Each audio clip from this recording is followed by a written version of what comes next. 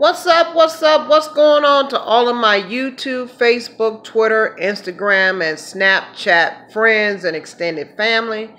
This is your girl coming at you again with another commentary of Chicago Talk. I wanted to start off this video by saying happy fabulous Friday to everybody. And I wanted to say namaste and peace be on to you and everyone that is watching this video. Yes, um, today I'm going to report, um, I'm actually going to give some updated news and this is regarding one of the old time legends um, who is, as you know, he is currently incarcerated. And I'm talking about the one of the co-founders of Death Row Records, Mr. Suge Knight. And Lord have mercy, he done got himself into another pickle again.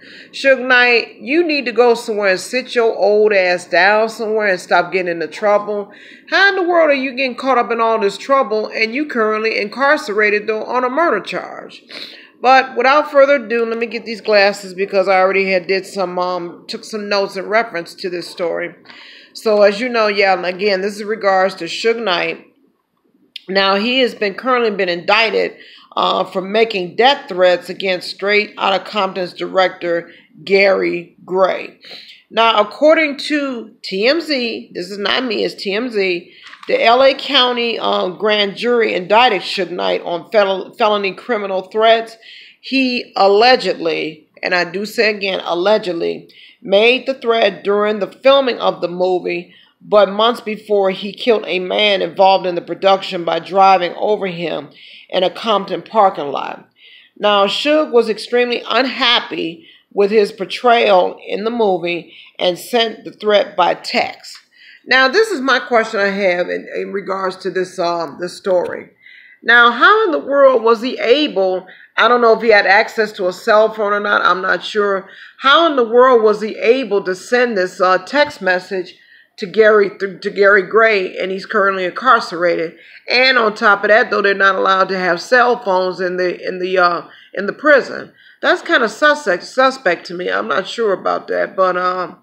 Yeah, because I know the last time I did some research on uh, Suge Knight, I think this was back in March, that he was going through some uh, some health issues, and this was in regards to blood clots. So my thing is, I don't know if he's still going through it or not, though, but the last I saw in his pictures, it looked like he was okay.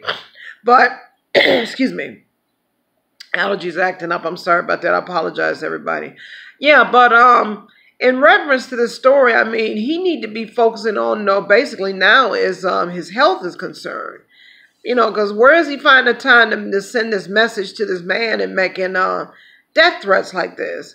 And for him to say that he wasn't happy in regards to his portrayal in the movie, I mean, hey, you know, when you're talking about these big production companies, you know, and they're making movies in reference to a person's life, I mean, if it's something that you don't agree about, then I mean, it's a way to do things, but you know, but at the end of the day, after everything is said and done, you know, that production company is basically going to pretty much do what they want to. So, you know, I mean, he should, I mean, my thing is this though, he should have handled the situation a little bit more better than just sitting up there and just sending threats to the man like that just because that, you know, he disagrees in terms of the portrayal of himself in the movie. I mean, come on, it's just a movie.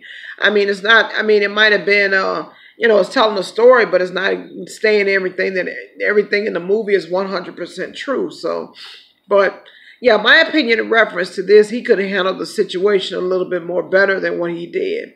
And I want to ask you a question. Uh, to, this is to my subscribers, and I want you to leave a comment on the bottom. I really feel, I mean, even though this is old news, but I, I really truly feel that I, I believe personally he had something to do with Tupac's murder because I could look at him and just tell, though, that he's, you know, he looks like one evil type of individual. I mean, that would do something crazy like that. But leave your comments, people, at the bottom and let me know what you think. Do you do you feel that he had something to do with Tupac's murder? And what is your intake about this, um, by him making this threat to this man, though, um, Gary Gray? Let me know what your intake on this is.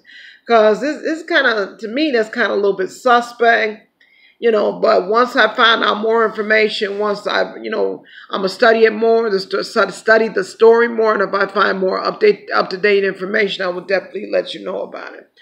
And uh, also, again, I'm going to ask this question. I'm going to address this question one more time, even though a lot of people said do what I do. But the reason why I'm addressing this question is because I do care about my subscribers.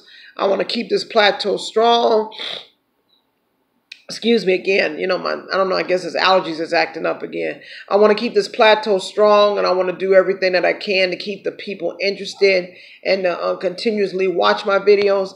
So yeah, um, if you have any suggestions in terms of future topics you want me to talk about, please let me know.